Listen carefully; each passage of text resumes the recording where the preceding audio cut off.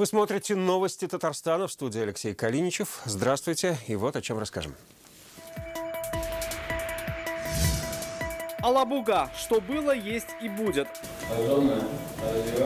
Какие компании появились в особой экономической зоне Алабуга в этом году и что появится еще после заседания наблюдательного совета, узнал Рамиль Шайдулин. Новый год еще только на пороге, а Дед Мороз уже сделал главный подарок самым маленьким жителям Салават Купере. Мы хотим э, воспитать таких э, детей, которые будут э, делать что-то своими руками. На открытии детского садика, который третий за последние две недели, побывала и Алия Хайрудинова. Зима без снега. Снега нет, народу нет, поэтому лед. Как текущий декабрь попал в климатические топы, расскажет Салават Мухаммадулин. Автомобилисты довольны, пешеходы нет. Очень сильный гололед, невозможно с ребенком ходить. Как жители Альметьевска отреагировали на эксперимент с отказом от использования реагентов? И что думают на этот счет чиновники? Филюза Хамидулина. Сегодня Россия прощалась с Махмутом Ахметовичем Гореевым. Генерал армии в отставке, знаменитый татарин, скончался в Москве 25 декабря на 97-м году жизни. Махмут Гореев до последних дней оставался в строю, вел активную жизнь, являлся президентом Академии военных наук. Сегодня проводить в последний путь ветерана Великой Отечественной войны, народного героя в Подмосковье приехали сотни людей. Прибыла в Подмосковье большая делегация из Татарстана во главе с Фаридом Мухаммедшиным. О том, каким этот выдающийся человек был в обычной, не военной жизни, в репортаже Дины Газалиевой. Его все татары называли «наш генерал». Он был настоящий, настоящий во всем. Искренний, смелый, патриот Родины и человек, гордящийся своей национальностью. Махмуд Ахметович Гореев – Прошел шесть войн, награжден 19 орденами генерал армии. Махмуд Ахметович был и большим другом нашего телеканала. Часто давал интервью, делился своим опытом, при этом обязательно по-доброму подшучивал над нами, рассказывал свежие анекдоты и никогда не отказывался от участия в мероприятиях Татарстана. С присущей ему целеустремленностью в последние годы Махмуд Гореев боролся за сохранение правды о войне с фашизмом. Ленинград не надо было защищать, Москву не надо было защищать, Гитлеру не надо было сопротивляться, пили бы баварское пиво. Это все люди, это они свои э, деньги зарабатывают, э, отрабатывают, отрабатывают то, что им э, поручается, для того, чтобы вызвать смуту внутри нашей страны. Глупости это, конечно, потому что если никуда не ходить, никуда не вмешиваться, как может государство отстаивать свои национальные интересы? И вот нашего генерала не стало. Это очень внезапно обрушившееся на всех горе, и так жаль, что не дожил легендарный фронтовик до годовщины Великой Победы. Сегодня с Махмутом Гореевым прощалась не только Москва. На церемонию, которая проходила на мемориальном кладбище Министерства обороны в Подмосковье, приехали сотни людей. Из разных регионов, воинских частей, ученики Махмута Ахметовича и близкие по духу люди. Я уверен, следующее поколение нашего военное руководство, молодые офицеры, они будут учиться долго-долго на этих трудах, на его работах. Один раз, будучи молодым, одев погоны, Махмуд Ахметович принял присягу и до 96 лет, дожив, с уважением и с чувством ответственности говорил «честь имеет». Слово «честь» для него было самой главной оценкой и офицера, и генерала. Его книги, они являлись пособиями для нас, для офицеров того времени и сейчас являются настольными.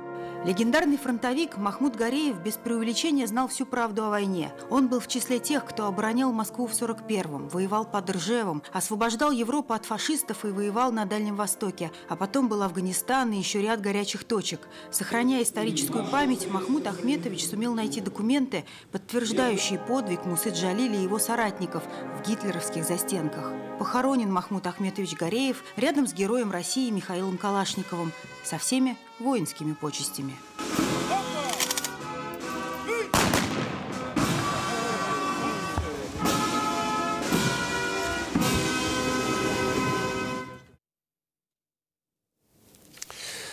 В воскресенье страна прощается и с народной артисткой СССР, художественным руководителем театра «Современник» Галиной Волчек – в Казани она была в 2016-м. Тогда в интервью «Реальному времени» она сказала, по неведомым мне причинам предложение поехать в Казань мы никогда не получали. Подробности читайте в интернет-газете.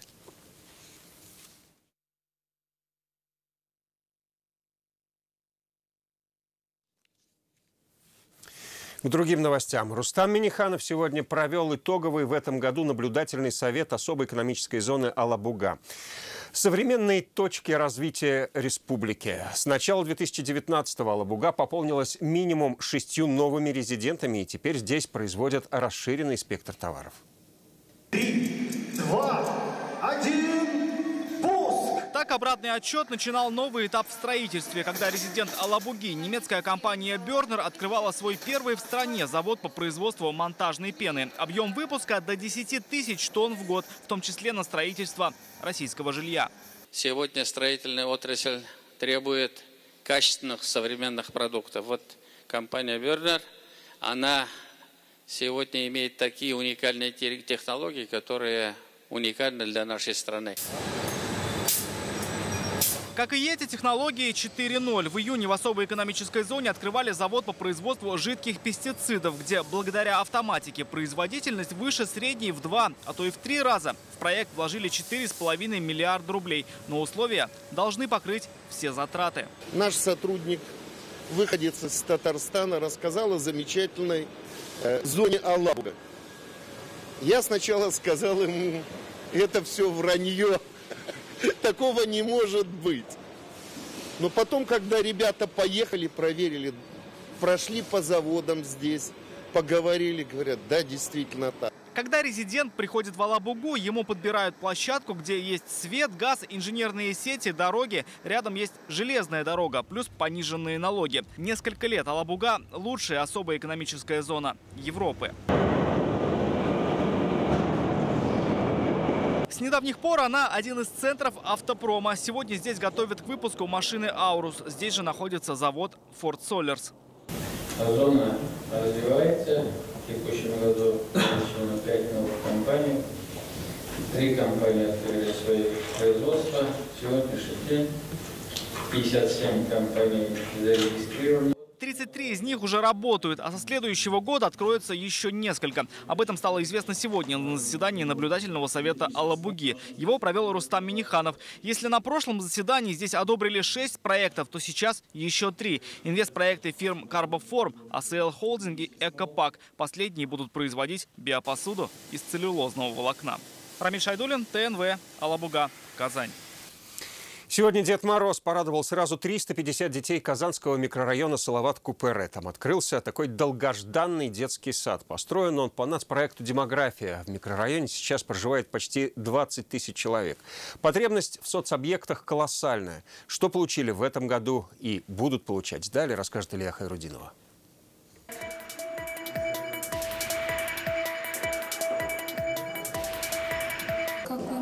Молодец. Давай сейчас будем снежок клеить.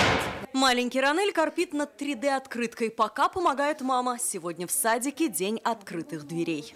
У нас вот как раз окна смотрят в этот садик. Каждое утро мы вот просыпались и смотрели, насколько вот продвинулось строительство. Со вкусом сделано, очень нравится, и игрушек очень много. Детсад «Друзья» строили по нацпроекту «Демография». Управились за год. Везде развивающая среда. Музыкальные спортивные залы. Будет работать и логопед, учитель татарского. Я пришла сегодня, особенно понравилось овощи крутить. А еще будут сотрудничать с одним из казанских лицеев. У них очень большой стадион есть футбольный, есть каток, где мы можем, например, наших детишек уже с маленького возраста ставить на коньки. За последние две недели в Салават-Купере открылись три садика. Этот рассчитан на 220 мест. Однако этого жителям микрорайона недостаточно. Чтобы увеличить количество мест, закупили специальные вот такие трехъярусные кровати. Таким образом, количество детей увеличилось до 350. Три детсада, поликлиника МФЦ, отделение почты, площадка для сельхозярмарок и даже кинотеатр. Это все построили в Салават-Купере в уходящем году. На 20-й планы тоже серьезные. Строительство новой школы, и мы надеемся к 1 сентября эту школу открыть. Уже принято решение о строительстве еще двух детских садов. Алия Хайрудинова, Алмаз Зиединов, ТНВ, Казань. Что будет царской ратушей? Сегодня судьбу объекта культурного наследия решали эксперты на встрече с собственником. Они осмотрели здание внутри и снаружи. От первоначального облика, по их словам, остались лишь очертания. Они настаивают на том, чтобы зданию вернули исторический вид. Зарина Ахметова выслушала мнение сторон.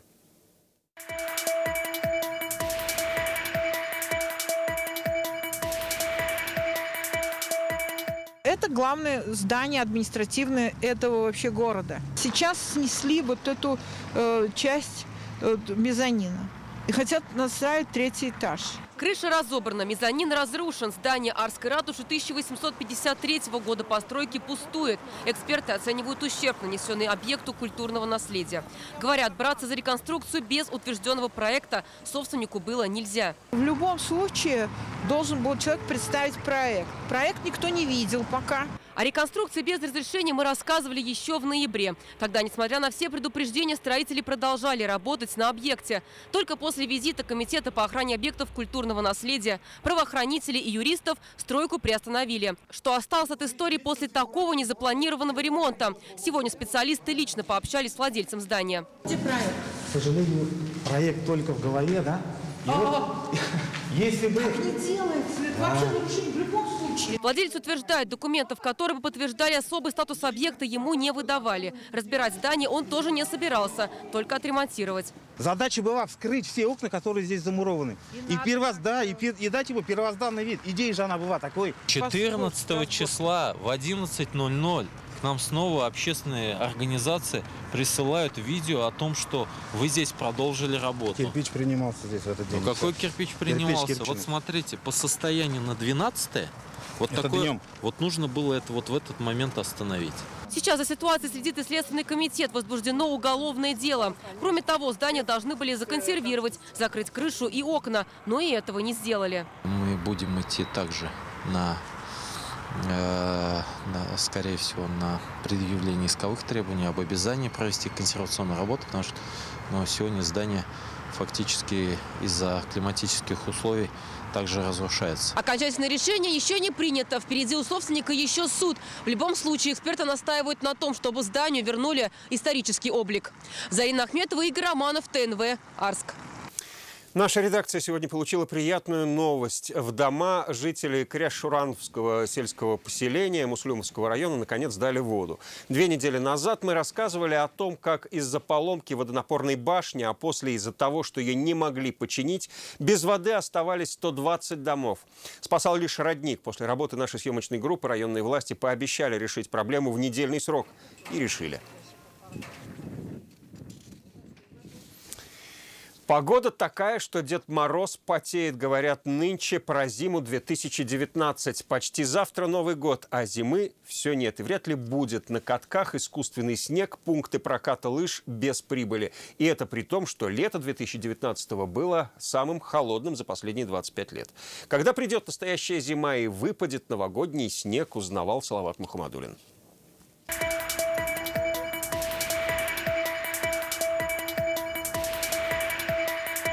Зима ждала-ждала природа, снег выпал только в январе. Александр Сергеевич Пушкин, Евгений Онегин. Наш великий классик как в воду глядел. На пороге практически уже Новый год, а у нас, как это сейчас модно говорить, европейская зима.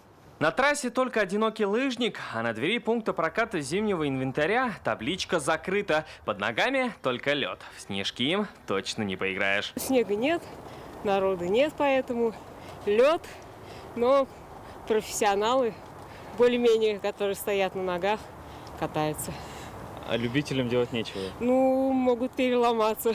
На свияге и елке у чаши искусственный снег. Естественный, как только появляется, сразу тает. Как говорят метеорологи, дело в Атлантическом океане и его потоках. Под воздействием прихода теплых воздушных масс с Атлантического океана Атлантика всегда теплее в зимний период, чем континент. Континент выхолаживается. Тем более сейчас у нас солнечное состояние прошло. Зато для метеозависимых людей декабрь был идеальным. Он стал самым комфортным за 120 лет с точки зрения перепадов атмосферного давления, но глобального потепления это не отменяет. И январь будет э, теплее нормы, и э, февраль также.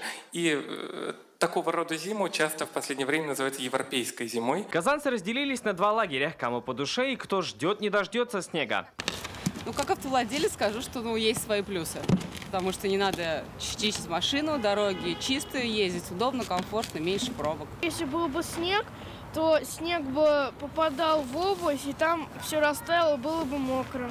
Очень плохо. Надо снег обязательно. Почему? А, хотя бы на лыжах хотят покататься. Но Новый год без снега не пройдет. По прогнозам, снегопад ждем с 30 декабря по 1 января. Но на этот раз он точно не должен растаять. Небесная канцелярия обещает. Слово Нахмадулин, Ренат Сафин, ТНВ. Казань.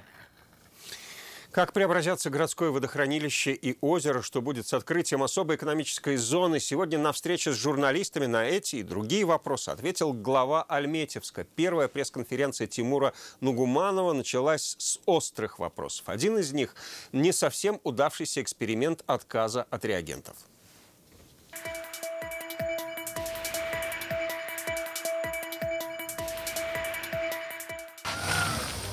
Ильдар Мубаракшин знает дороги Альметьевска от А до Я. Таксист с 20-летним стажем. Говорит, без реагентов обойтись можно. И гололеда нет, и резина целая. Наша обувь портится, и на машину слишком внутрь таскается. Да, потихонечку можно ездить. В этом году по просьбе жителей вовсе решили отказаться от использования реагентов, а сделать упор на очистку и своевременный вывоз снега. Реагенты нужны в плане того, что, например, вот на спусках, на подъемах. Даже разницы не заметить то сыпали, то не сыпали. Мне как-то нормально. Эксперимент с отказом от использования реагентов завершен. На количество ДТП это никак не повлияло, а даже наоборот, есть снижение аварий, говорят инспекторы. А вот пешеходы не в восторге. В некоторых местах тротуары словно катки. Жители просят посыпать их реагентом, чтобы лед под ногами растаял. Очень сильный гололед, невозможно с ребенком ходить. Первый вопрос журналистов об этом же. Что показал эксперимент? Поэтому здесь, конечно, нужно найти золотую середину. Э, на будущее мы однозначно, э, и я хочу сказать, да, песок это точно не выход, э, поэтому мы будем работать дальше комбинированно, заливать все массово мы не будем, будем минимизировать, но работать без реагентов полностью ну, невозможно. От насущих вопросов к будущему города – это реконструкция городского водохранилища. Масштабный проект не только для республики. На градостроительный конкурс заявили 150 архитекторов со всего мира. Мы э, поставили задачу, ну и финалисты приедут, мы с ними подробнее пообщаемся. Мы говорим о том, что должна быть, э, во-первых, сохранена максимально природная среда. Мы не хотим превращать это в каменные джунгли. При этом эта территория должна быть максимально интегрирована. Еще одна важная тема – строительство особой экономической зоны Алма и нового комплекса по переработке малинового ангидрида. Не пострадает ли экология? Только таким образом наш, э, наша экономика станет диверсифицированной, развитой, а, менее подверженной э, каким-то рискам. И самое главное, на городе будут рабочие места, будут налоговые отчисления, и территория будет дальше развиваться. Здравоохранение, образование, очистные сооружения говорили обо всем. Тимур Нагуманов подчеркнул, Альметьевск будет развиваться и останется социально развитым районом. Филюза Хамидулина, Эрик Абибулин, ТНВ, Альметьевск. Вы смотрите новости Татарстана, и вот о чем далее. Остались на улице в канун Нового года. Как помочь семье с двумя детьми после пожара в Буинске, знает Наталья Мезина. Елка по-татарски. Всех детей поздравляю всех гостей да, с наступающим Новым годом! В Старо-Татарской Слободе Казани открылся праздничный елочный городок. О его особенностях Рамиль Шайдуля.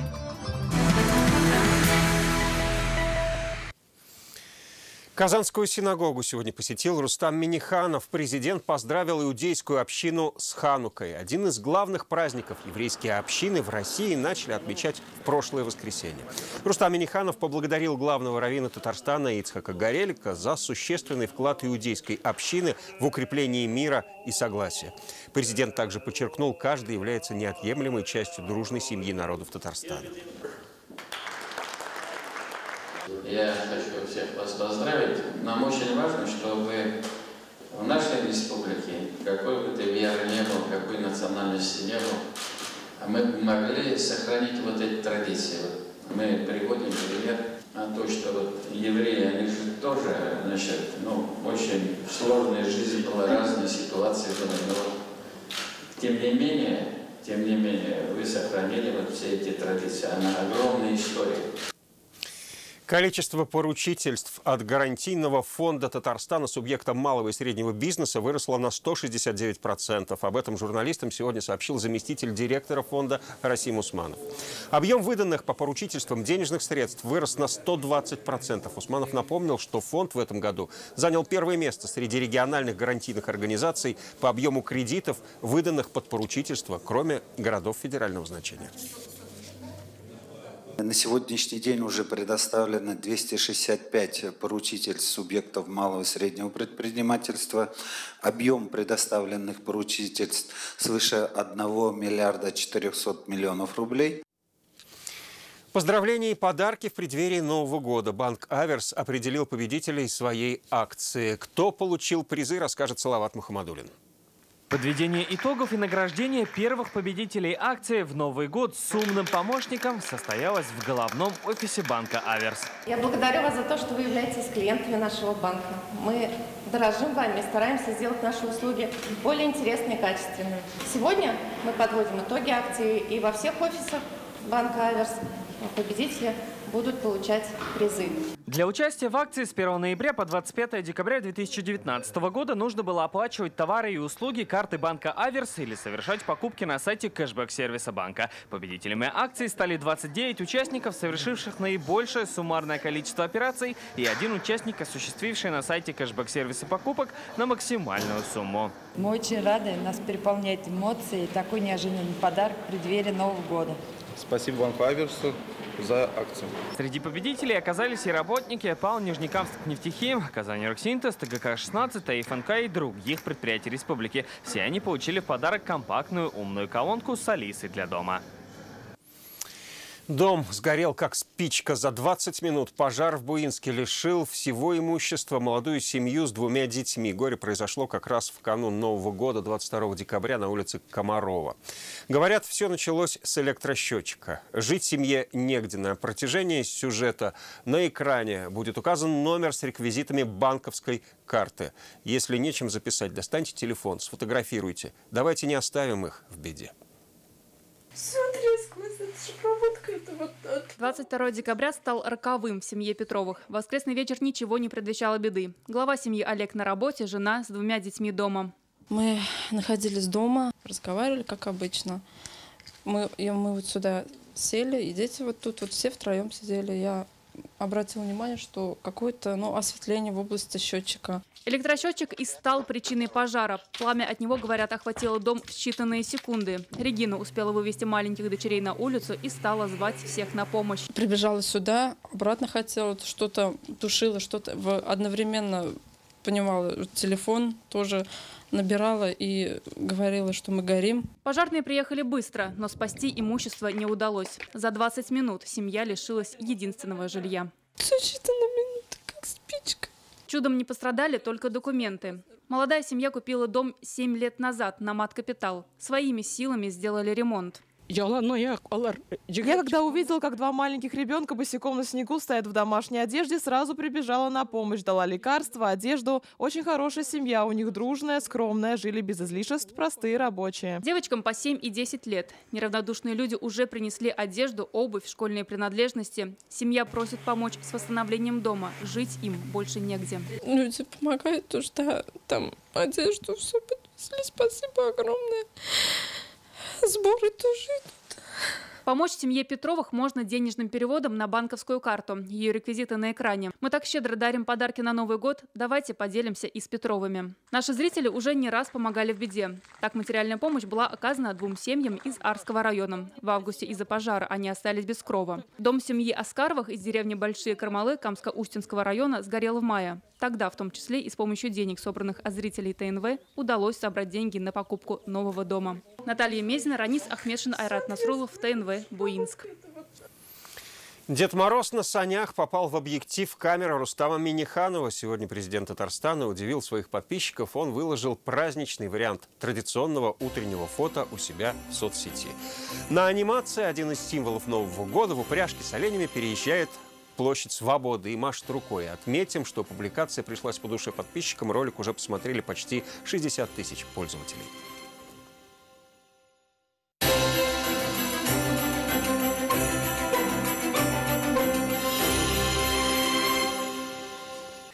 Праздник в сладость. Необычная новогодняя елка сегодня открылась в Старо-Татарской слободе Казани. Это целый елочный городок, где есть тоннели из хвойных арок, ледяные горки. Попасть на них непросто, а главное – вкусно. Здесь угощают татарскими сладостями, паят глинтвейном и горячим чаем. Сейчас на месте работает и наш корреспондент Рамиль Шайдулин. Тот самый случай, когда новогоднее настроение начинается прямо у входа в самом центре Старо-Татарской Слободы. Вот эти заветные цифры 20-20, словно сами зовут на праздник, а он и вправду сегодня есть. Стоит только на него попасть. С наступающим а вместе! Очень нравится, очень, э, очень организованно.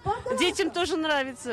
Здесь все очень красиво и новогоднее э, атмосфера. Смелее, смелее танцуем, ручки выше! Самый лучший праздник Новый год! Того, что сейчас происходит на сцене и вокруг нее, наверное, бы не было без главной виновницы торжества. Вот этой 15,5 метровой красавицы елки. Шары и десятки звезд на ней засияли, когда в Старо-Татарской слободе сказали «Елочка, гори!» Несколько локаций, и елка, и элементы ярмарку мы решили организовать. И а, самой большой а, сложность, самая большая была, что мы начали заниматься этим проектом с начала декабря. Эй, сказочный народ, встань в хоровод! И сразу две особенности именно этой елки. Во-первых, на территории всей площадки раскинуты островки вот такой вот настоящей живой хвои, как здесь, на этой арке. Во-вторых, именно эта елка официально завершает череду открытий. Это значит, что в городе сейчас работают все новогодние площадки. Рамиль Шайдулин, Алмазидинов, ТНВ, Казань. Выпуск продолжит информация о погоде, а больше новостей в наших социальных сетях ВКонтакте и Инстаграм. До встречи в новом выпуске. Всего вам доброго.